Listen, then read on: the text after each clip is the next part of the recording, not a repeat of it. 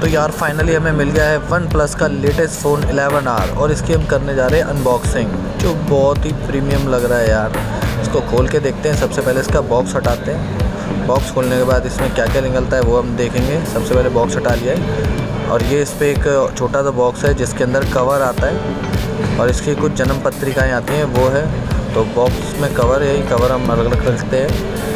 यहाँ पे इसके जीवन की जीवन पत्री है और ये कार्ड भी आता है जिससे आप वारंटी स्टैंड करा सकते हैं। और ये फ़ोन है, इसको भी अलग रख लेते हैं अभी। और क्या क्या आता है बॉक्स में, देख लेते हैं। अच्छा ये चार्जर भी आ रहा है। चार्जर काफ़ी बेटर लग रहा है यार। हंड्रेड वोट का फास्ट चार्जर है ये। अप टू पच्चीस मिनट में ये पूरा फ़ोन चार्ज कर देता है ये बॉक्स और ये इसके दिल से दिल को जोड़ने वाली केबल है, जिससे हम इस फ़ोन को चार्ज करेंगे।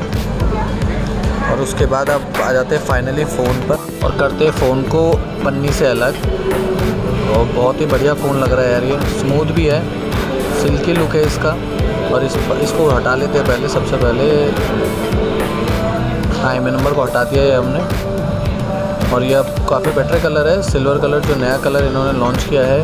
फास्ट चार्जिंग के साथ है ड्यूल स्पीकर्स हैं वॉल्यूम अप डाउन बटन है नॉइस कैंसिलेशन है स्मूथ लुक है। तो बहुत ही बढ़िया फ़ोन है। इसको पावर ऑन करके देख लेते हैं इसके अंदर। कैसे डिस्प्ले है टच है, ये सारी चीज़ चेक कर लेते हैं। तो ये फाइनली ऑन हो गया है और जिस पे वन प्लस का लोगो बनकर आ रहा है। और एंड्रॉयड फ़ोन है ये। थोड़ा फास्ट कर लेते हैं वीडियो को।